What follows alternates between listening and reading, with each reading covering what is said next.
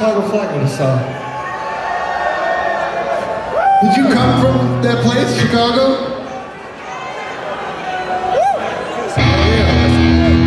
Thanks for being here. Chicagoans, people.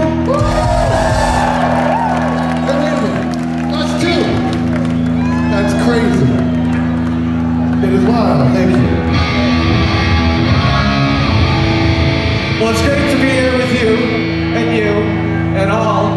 you. Uh, I'm so glad we have rock concerts we get to play and attend again. I didn't know what was going to happen, but this all feels heavenly and like a bonus. So let's go home again. It's for each and every one of you.